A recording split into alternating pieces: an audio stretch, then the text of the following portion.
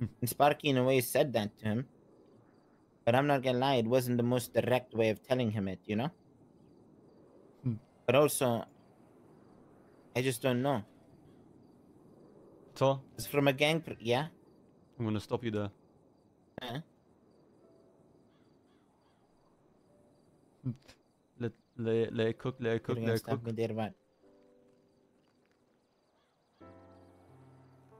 Until you, Sparky, and T sort this out.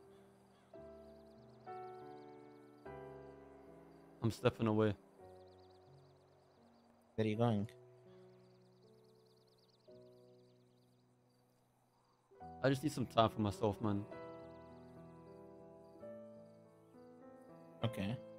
I'm not get that. saying I'm leaving, Yeah.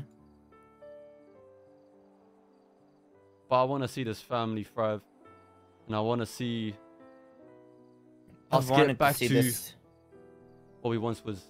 Because right now, it's just showing no one wants to fix the situation, and I don't want to be a part of that. I don't think it's anyone not wanting to fix the situation. We're kind of leaving it in our the hands of our leader. But maybe you might just not be the right leader. I think you need some time, Ved. But don't go there by yourself. I'll drop you off at the airport.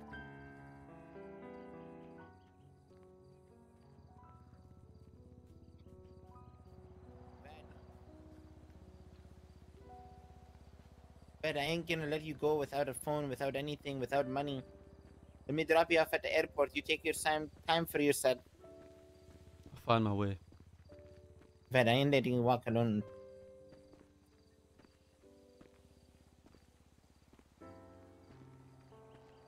Ved.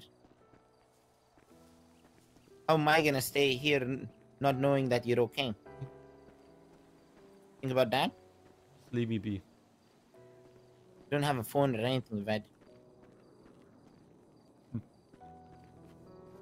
Patar, Yeah, Ved.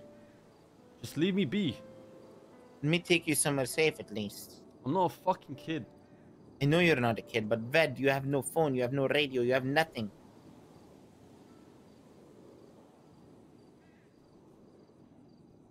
Ved, if you love me, you won't run away. Maybe I If you love don't.